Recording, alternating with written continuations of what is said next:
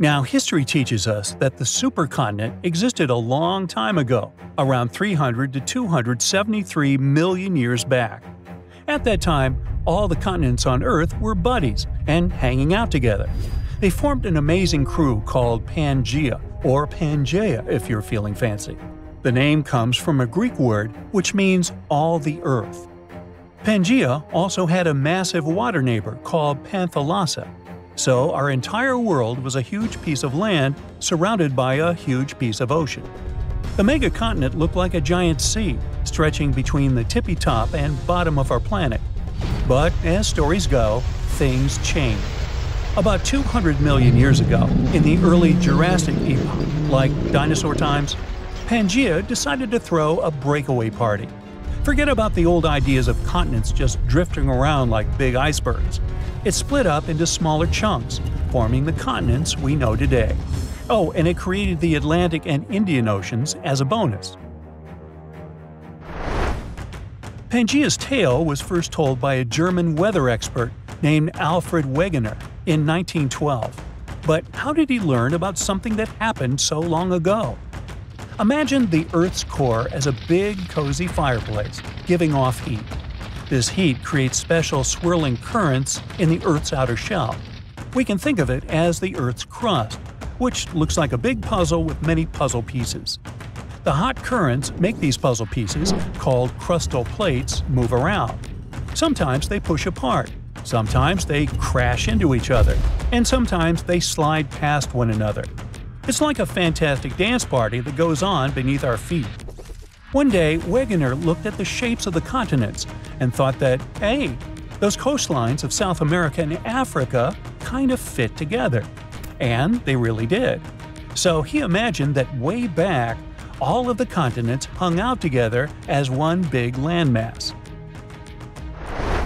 But he couldn't just go and say that without any proof. So, how do we know Pangaea really was a thing? Well, there are some clues that brought us to this amazing discovery.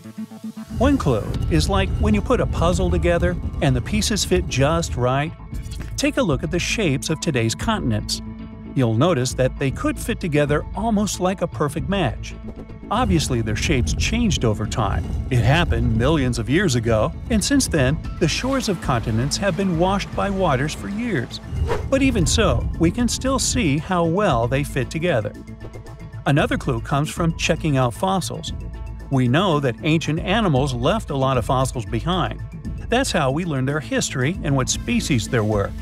But when scientists compared fossils found on different continents, they found something interesting. These fossils look similar. Surprisingly, they belong to the same groups of animals, even though they were far apart.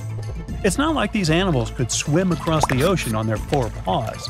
And it's unlikely that this particular type of animal originated in two places at the same time. And finally, the mountains. Imagine exploring underwater and finding huge mountains in the oceans. These underwater ranges and deep trenches are like scars from when Earth's tectonic plates moved around. They serve as another proof that the continents are part of something bigger. When you look at these things together, you get a pretty clear picture. The Earth's continents were once huddled together in the supercontinent. They've since gone their separate ways, but the memories of their grand adventure are still written in the shapes of coastlines, the rocks they left behind, and many more. But it's obvious to us now. At the time of Wegener's discovery, there were different ideas flying around. Some folks thought that the continents sank down to make the oceans, but Wegener had a different take. He thought that the continents are always on the move. He even came up with a fancy phrase, continental drift, to explain it. Later, he was joined by another scientist named Alexander du Toit. He added a little twist to the story, suggesting there were two original continents Laurasia in the north and Gondwana in the south. But the real party didn't start until the 1960s, when scientists figure out the secret ingredient in this recipe plate tectonics.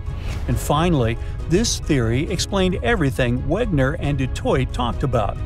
Wegener's theory was proven correct after 50 years. As time passed, we learned more and more about our planet. We found out that the Earth used to have multiple supercontinents.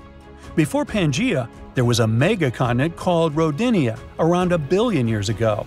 And later on, Pannotia joined the scene about 600 million years ago.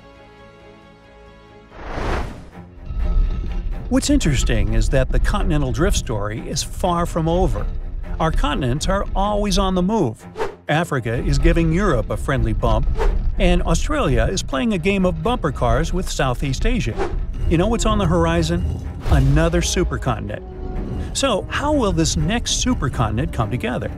Well, there are four major possibilities Novo Pangaea, Pangaea Ultima, Aurica, and Amasia.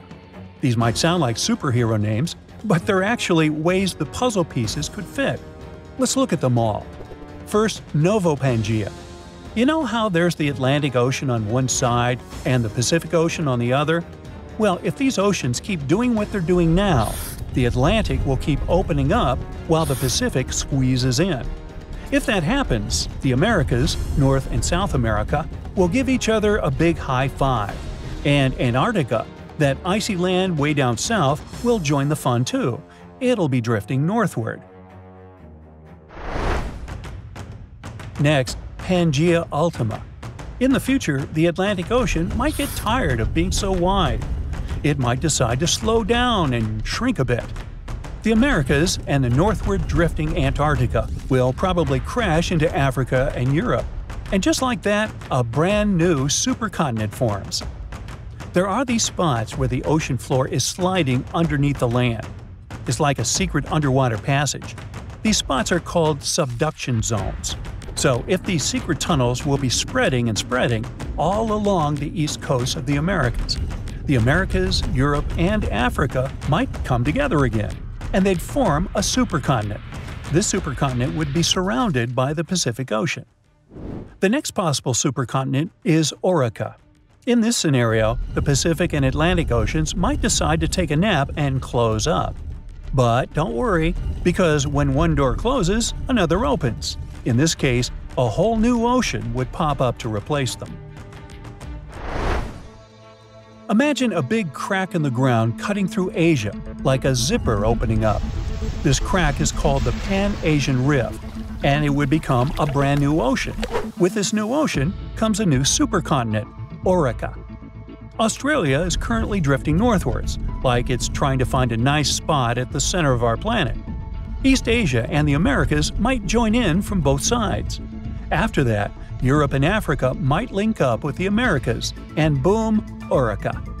And finally, Amasia. It might form if some of the tectonic plates go north. They can take continents like Africa and Australia along for the ride. They'll be hanging out around the North Pole all the continents except Antarctica might come together. And even though they might gather around the North Pole, they won't close off the oceans. The Atlantic and Pacific Oceans would still be open for business. How this grand reunion happens depends on the Earth's tectonic movements. So far, we believe that Novo Pangaea is the most likely scenario. It also depends on what exactly happened to Pangaea after it broke apart and when the new supercontinent appears, what's going to happen with the weather? How will the ocean behave? And what about the animals and plants? These questions all light up our minds. Who knows? Maybe someday our descendants will look at the world map and see this incredible journey come full circle. So keep asking curious questions and stay tuned for the next 100 million years. That's it for today. So hey, if you pacified your curiosity, then give the video a like and share it with your friends. Or if you want more, just click on these videos and stay on the bright side.